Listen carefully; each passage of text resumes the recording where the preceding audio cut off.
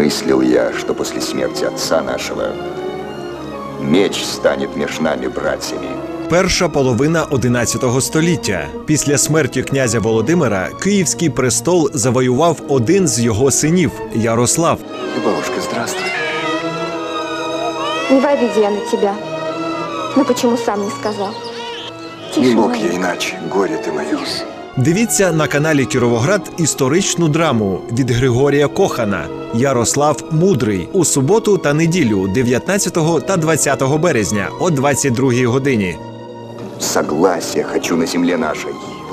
И я того жажду, братья мой, но вижу град мой Чернигов вольным.